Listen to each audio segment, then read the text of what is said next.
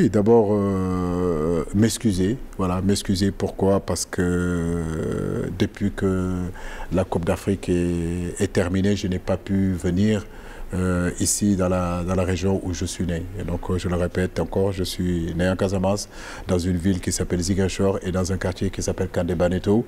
J'en profite pour passer le bonjour à tous les habitants de Kandebaneto. Hein euh, et tous les habitants de, de, de Ziguinchor. Donc je disais que je m'excusais parce que je n'ai pas pu amener la coupe et le présenter à toute la, toute la Casamance. Mais c'est parce qu'aussi on a deux matchs très importants.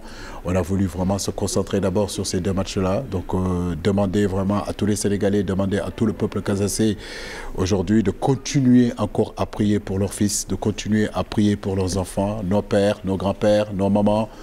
Euh, pour que justement cet objectif-là qui est d'aller à la Coupe du Monde